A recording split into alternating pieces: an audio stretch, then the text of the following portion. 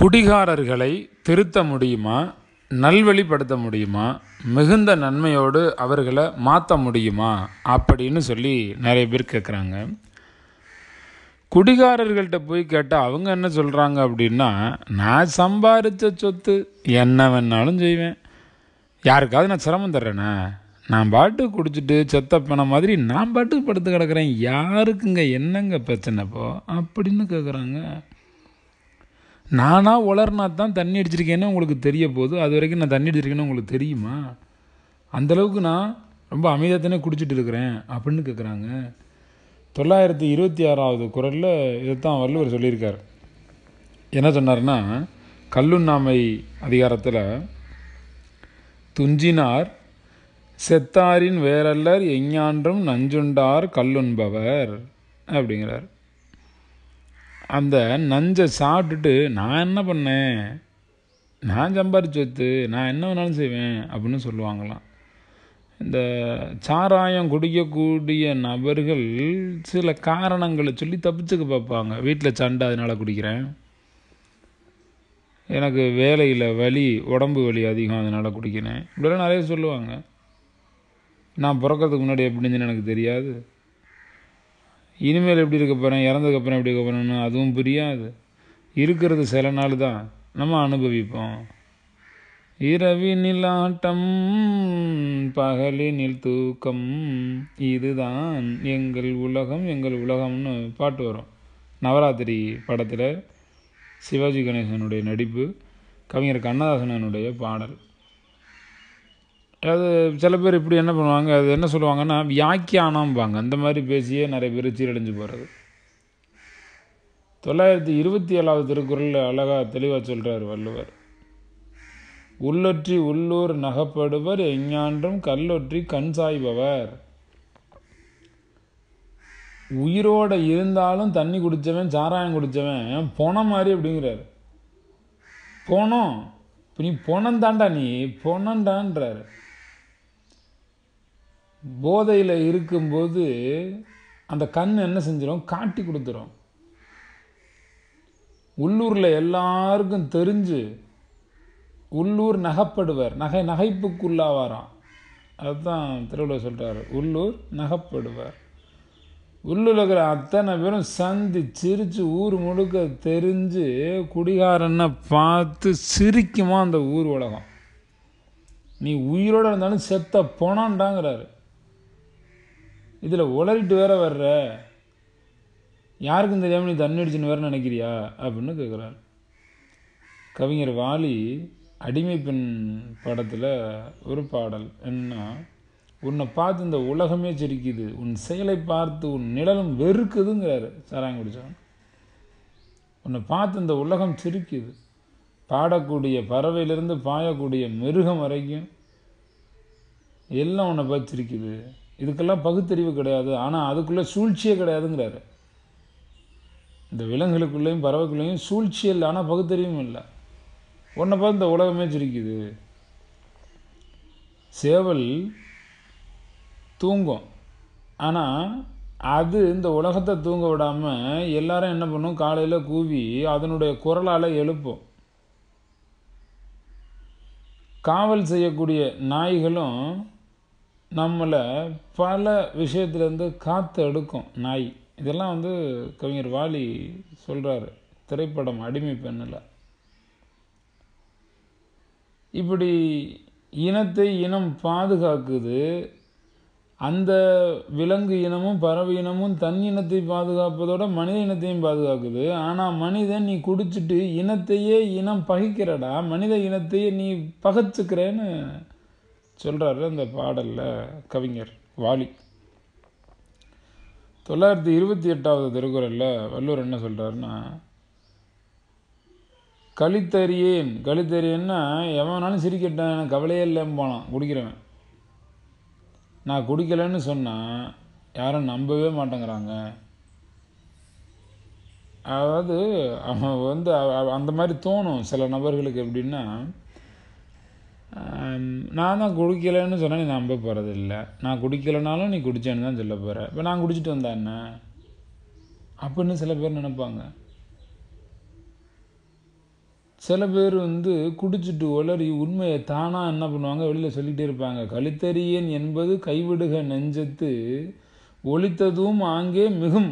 தொள்ளாயிரத்தி இருபத்தி எட்டு குரல். உள்ளுக்குள்ளே இருக்கக்கூடிய அந்த உண்மையின் நிலைமையெல்லாம் தானாக வெளியில் வந்து சொல்லிகிட்டே இருப்பாங்களாம்.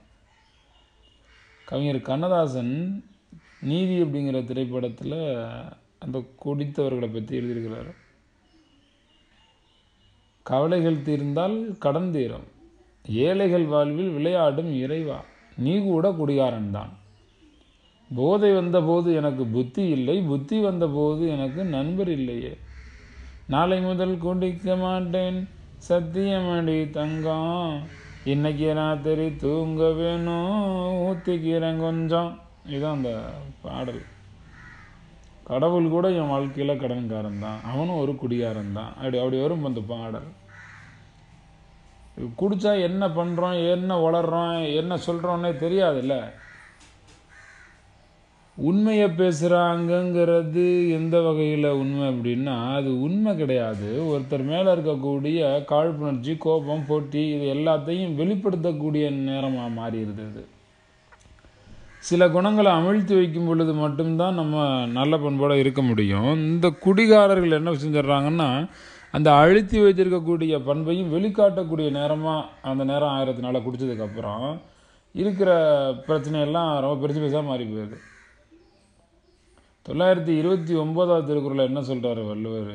கழித்தானை காரணம் காட்டுதல் கீழ் நீர் குளித்தானை தீத்துரியற்று அப்படிங்கிறாரு. அவனா திருந்தினா தான் உண்டுங்கிறாரு. இப்போ பட்டுக்கோட்டையார் சொன்னார்ல திருடனாய் பார்த்து திருந்தாவிட்டால் திருட்டை ஒழிக்க முடியாதுன்னு. அதே மாதிரி அவனாக திருந்தினா தான் உண்டு குடியாரங்கிறார். இது ஒரு மனநோய். இதை புரிய வைக்கிறது எப்படின்னே தெரியலை. இது எப்படி புரிய வைக்கணும்னே தெரியலங்கிறாரு. வள்ளுவரே சொல்கிறாரு தெரியல. அதனால் அது அவனாவே திருந்தினா தான் ஒரு குடிகாரனை திருத்த போகிறது எப்படின்னா கிணத்துல யாரோ ஒருத்தன் விழுந்துட்டாங்கிறத கண்டுபிடிக்கிறதுக்கு தீப்பந்தத்தை கொளுத்திக்கிட்டு உள்ளுக்குள்ளே குச்சா அப்படி இருக்கும்? அந்த மாதிரியா ஒரு திருடனை திருத்த போகிறது அல்லது ஒரு குடிகாரனை திருத்த போகிறது அவனாக திருந்தினா தான் அவனாக மனது வைக்கணும் அவனாக பெர்மிட் பண்ணணும். நம்ம திருந்துவோம் திருந்திக்குவோம் அப்படின்னு நினச்சாவே அவன் திருந்ததுக்கான வாய்ப்பு வந்துடுமா அவன் எப்போ நினைக்கிறானோ நம்ம விளது குடிக்கிறோமே தெரிஞ்சுனா பரவாயில்லன்னு நினைக்கும் போது யாராவது ஒருத்தர் திருத்திட முடியும்? கிணத்துக்குள்ளே விழுந்துட்டான் ஒருத்தன் எந்திரிச்சே வர முடியான்ட்டு உள்ளே போகிறான் நீங்கள் எவ்வளோ தான் தூக்குனாலும் உள்ளே நான் போவேன் உள்ளே நான் போவேன் உள்ளே நான் போவேன்ட்டு உள்ளே போகிறான்னு செத்து போடான்னு விட்டு போ போகிற தவிர வேறு வழி இல்லை. இல்லைன்னா நம்மளும் செத்து போயிடும் சேர்ந்து. தப்பிக்கணும்னு நினச்சி மேலே எலும்பி எலும்பி எலும்பி எலும்பி இந்த தண்ணியிலேருந்து எப்படியோ தப்பிக்கணும். ஹெல்ப் ஹெல்ப் ஹெல்ப்னு யாராவது சத்தம் போடக்கூடிய நபராக இருந்தால் நம்ம உள்ளே இறங்கி அவரை காப்பாற்ற முடியும். நம்ம என்ன தான் கைப்பிடிச்சி காப்பாற்றினாலும் தண்ணிக்குள்ளே தான் போவேன் போவேன்னு போய்கிட்டே இருந்தாருன்னா அவரோட நம்மளும் சேர்ந்து போனால் நமக்கு என்ன ஆகுறது நமக்கும் பிரச்சனை உருவாயிரும். வைரமுத்தினுடைய பாட்டு ராஜா சின்ன ரோஜா படம். இந்த ரஜினிகாந்த் நடித்த படம். அந்த ஒரு பண்பாடு இல்லை என்றால் பாரதம் இல்லை. நாம் பண்போடு வாழ்ந்திருந்தால் பாவம் இல்லை. சிறகில்லாமல் தள்ளாடும் செல்லக்கிளைகள் என் கண்ணோரம் இப்போது கண்ணீர் துளிகள். சாராயத்தை குடிச்சிட்டு இளைஞர்களெல்லாம் ஆடிக்கிட்டு இருக்கக்கூடிய காட்சி. அந்த காட்சியில் ரஜினிகாந்த் பாடக்கூடிய பாட்டு. ஒரு பண்பாடு இல்லை என்றால் பாரதம் இல்லைன்னு இந்த பாட்டு வரும். மயக்கம் என்பது மாத்திரையா? மரணம் போகும் யாத்திரையா? விளக்கு இருந்தும் இருட்டறையான்னு அந்த கேள்விகளோடு வரும். விடிந்த பின்னும் நித்திரையார் பொழுது விடிஞ்சதுக்கப்புறம் தூங்கிட்டு இருக்காங்க. யார்? சாராயம் குடித்த ஆட்கள். வரம்பு கடந்து போகிறீங்க நரம்பு தளர்ந்து போகுது. வயதை தொலைச்சி வாழ்கிறீங்கிறாரு வைரமுத்து இந்த பாட்டில். இந்த உலகம் உன்னை அழைக்கிறது. இன்னும் வாழ்க்கை இருக்கிறது அப்படிங்கிறாரு. வாழ்க்கை இருக்குது ஆனால் அந்த உலகம் அதுக்குள்ள என்ன செய்து உன்னைய? சாவு கலைச்சிக்கிட்டு இருக்கு அப்படிங்கிறாரு. எதனால? சாராயத்தை குடிச்சிட்டு நீ சாவுக்கு போயிட்டுருக்கு அப்படிங்கிறாரு.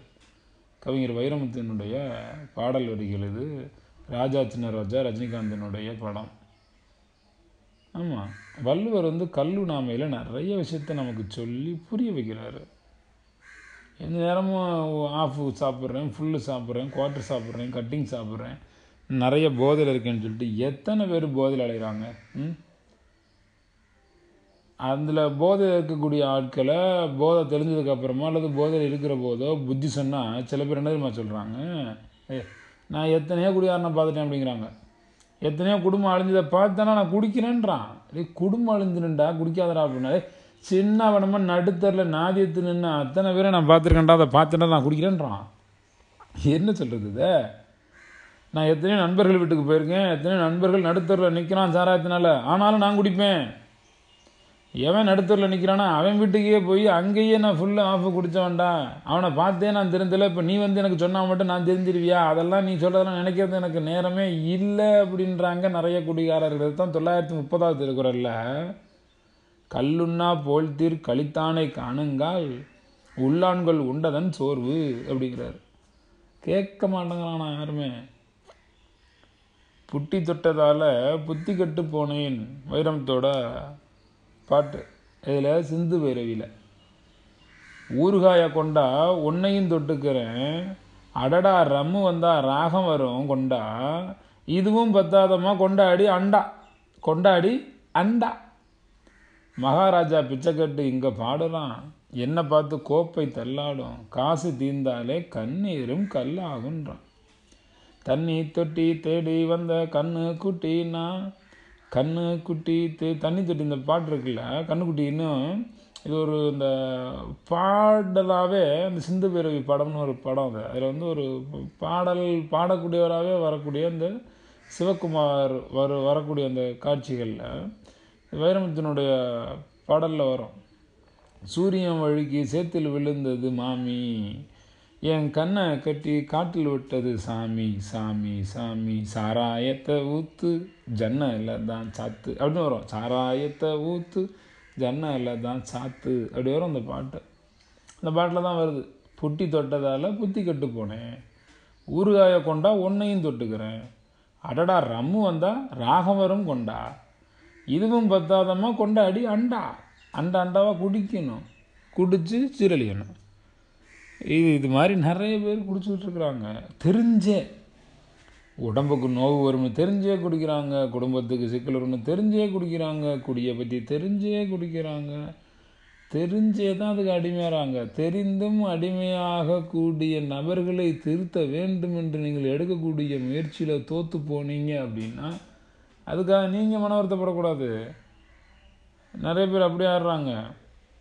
சில பேரை திருத்துறதுக்காக இவங்க முயற்சிகள் எடுத்து தோற்று போச்சுன்னா இவங்க வருத்தத்துக்கு வந்துடுறாங்க. அப்படி வரக்கூடாதுன்றேண்ணா.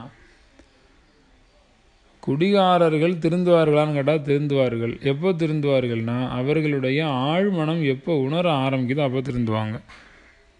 இப்போ என்னாட்டில் நிறைய பேர் நேரடியாக வந்து நான் குடிக்கிறேன் எப்படியாவது மாற்றணும் அப்படிம்பாங்க. ஒரு ரெண்டு சிட்டிங் அஞ்சு சிட்டிங் உட்காந்தாவே குடிகாரரை மாற்றிட முடியும். யாராவது அழைச்சிட்டு வந்து எங்கள் அப்பா குடிக்கிறாரு எங்கள் வீட்டுக்காரர் குடிக்கிறாரு என் தம்பி குடிக்கிறான் அவனை எப்படியா மாற்றுங்க அப்படின்னா முடியாது. ஏன்னா இட்ஸ் நாட் பெர்மிட் அவர் பெர்மிட் கொடுக்கல. அவருக்கு எனக்கு பெர்மிட் கொஞ்சம் கொடுத்தா தான் உங்களை நான் கேட்பேன் அது மாதிரி வரக்கூடியவங்களை நீங்கள் திருந்தணும் மாறணும்னு நினைக்கிறீங்களான்னு கேட்பேன் அவர் சொல்லுவார் இல்லை அப்படிம்பார்.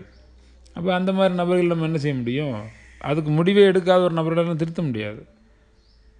அப்போது நீங்கள் இந்த குடிகாரர்கள் ஏன் குடிக்கிறாங்க அப்படின்னு உங்களுக்கு சில காரணங்கள் சொல்கிறாங்கல்ல அந்த காரணங்களுக்கு நீங்கள் ஆட்பட உன்னால தான் குடிக்கிறேன்னு சொல்லுவாங்க. அப்போ நீங்கள் அது காரணமாக வந்துடக்கூடாது ஏன்னா அந்த கவலை இருக்குது அப்படின்னா அந்த அந்த அந்த கவலையை நீங்கள் போக்குறதுக்கு என்ன வேலை செய்யணுமோ அதை செய்யுங்க. அந்த கடன் இருக்க தான் குடிக்கிறேன்பாங்க. அப்போ கடனை சரி பண்ண என்ன பண்ணணுமோ அந்த வேலைகளை செஞ்சு கொடுங்க. இப்படி அவங்கள்ட்ட காரணங்களை கேட்டு அந்த காரணங்கள் என்ன சொல்கிறாங்களோ ஒரு ஒரு காரணமாக நீங்கள் பூர்த்தி பண்ணுங்கள் நீங்கள் பூர்த்தி பண்ணும்போதே அவர் தெளிவாயிடுவார் ஆகா நம்ம வந்து ஏதோ காரணம் சொல்லி தப்பிக்க பார்க்குறோம். ஆனால் அவங்க நம்மளை விடலை. திரும்ப திரும்ப நம்மளை துரத்தி வந்துட்டே ஒரு எல்லையில் போய் குடியை நிப்பாட்டுறதுக்கான வாய்ப்பு அதிகபட்சம் உண்டு. ஆமாம் அப்படி தான் நிறுத்த முடியும் குடியை. ஏன்னா காரணம் இல்லாமல் தான் குடிச்சிக்கிட்டு இருக்கிறாங்க எல்லாருமே. என்னுடைய நேரடி பயிற்சி வகுப்புகள் உலகம் முழுக்க மாதம் ஒரு முறை ஒரு ஒரு நாடுகளில் பயிற்சி நடக்குது. Malaysia Singapore Indonesia Dubai Qatar India.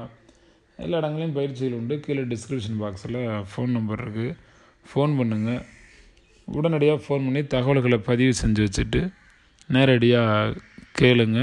ஆயுஷ்னு ஒரு நிகழ்ச்சி இருக்குது குபேர யோக நிகழ்ச்சி இருக்குது மைண்டு மாடிஃபிகேஷன் ப்ரோக்ராம் இருக்குது நேரடியாக பயிற்சி வரும்போது வியாதி இல்லாமல் வாழ முடியும். எந்த வியாதியும் இருக்காது. Thendral international foundation TV YouTube channel பாருங்கள் அதில் ப்ளேலிஸ்ட்டில் போய் பார்த்தீங்கன்னா குணமானவர்களுடைய வரலாறுகள்லாம் அதில் இருக்குது பார்த்தீங்கன்னா ரொம்ப சந்தோஷப்படுவீங்க.